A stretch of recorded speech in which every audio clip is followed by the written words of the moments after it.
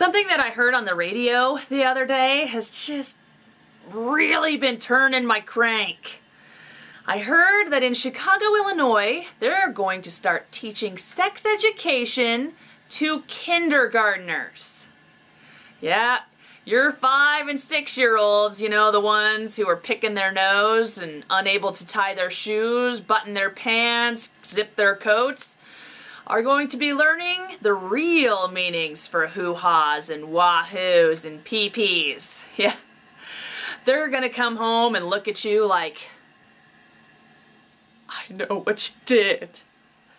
Point talk about it. I don't want my kids knowing how they got on this planet. I like to convince them that they came from an alien planet and were just dropped off. Or like I said last week, we just went to the hospital and the doctor gave you to us and we drove it on home and now we have you. Isn't it wonderful? Ta-da! It's magical. No, no, they're going to know the definitions of those. You know, rather than singing the ABCs, they're going to be singing the STDs. Yeah, your kid's gonna know more about sex education, well, than you do.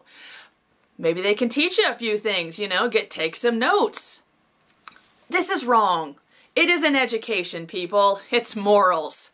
I, for one, do not want my little five-year-old out there because pretty soon she's going to be wearing pasties and a thong talking to the little boy in the banana hammock about what it is they're going to do later. Yeah, yeah. It's not education, people. It's morals. Teach your kids no. What happened to the days when we locked those people up? You got pregnant early? Yeah, you got sent away.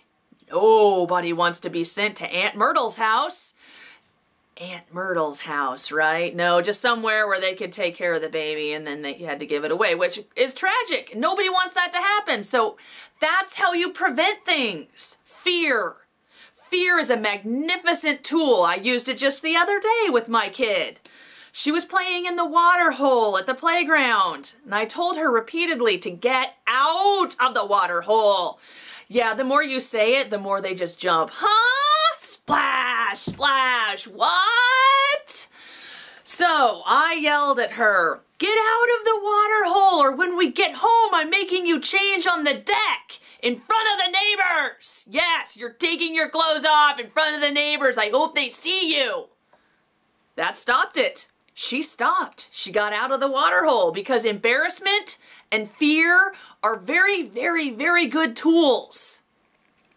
Now, uh, the older that my kids get, I have found that the more I end up sitting on a bleacher bench.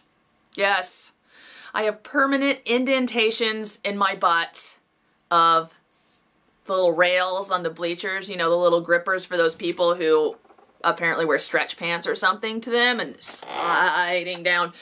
So they have to provide grippers on the seats so that you can stay in place. So the more that I am there, the more I find that the women there, the mothers there, there's some crazy mothers. I'm not that mother. I'm the one who's like, go have fun, honey. Good job on your back handspring. Woohoo! But there's other mothers there who are, you know, really convinced that their child who is 20 pounds overweight, picking her nose in line and picking her leotard out of her butt is a gold medal star winner. Uh-huh, yeah, she's, she's just imagining her daughter to be Gabby Douglas. Now, these are the women you don't want to make eye contact with. I try to stay in my own little corner because there's some really intense ones. You don't make eye contact. I mean, I'm serious. They are like that little puppy who's waiting, waiting for the bone, you know, you know, when you're holding the bone up and they're like, oh, give me the bone, give me the bone. Only they're thinking, okay, look at me. She's gonna look at me. Look at me, look at me.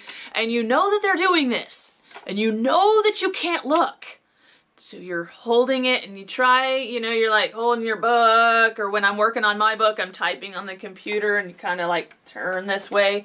But they're like that dog.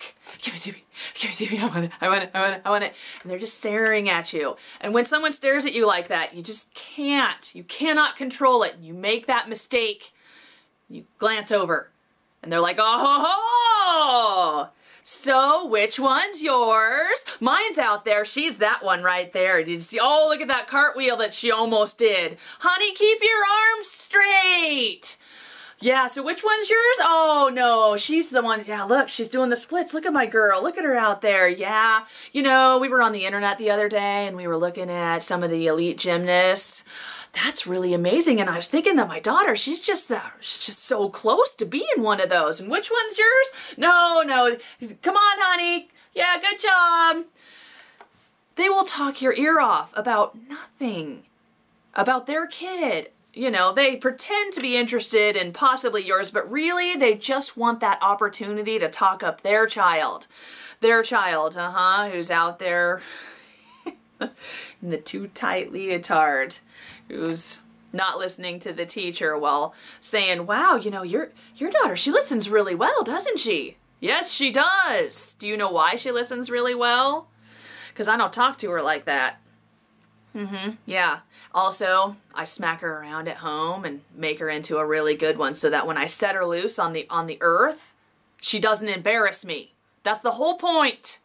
I send my kids out into the world so that they don't embarrass me. That's what I want. Yeah. Now, these are the same people who actually told me they have three TVs in one room. Mm-hmm, that's their quality family time. One for each child and one for the parents. The children watch with the headphones. Uh-huh. This is our, our quality family time. Yep, so that she can monitor what her kids are watching while she's watching her program. yeah. Bet those kids were in sex education early. Yep. Anyways, those are my hot buttons. Those are things that are going on in Krista's life. So Check out the website for more, confessionsofacountrywriter.com, and you can find me all over the place. And if you are like me and do not want sex education in the school system,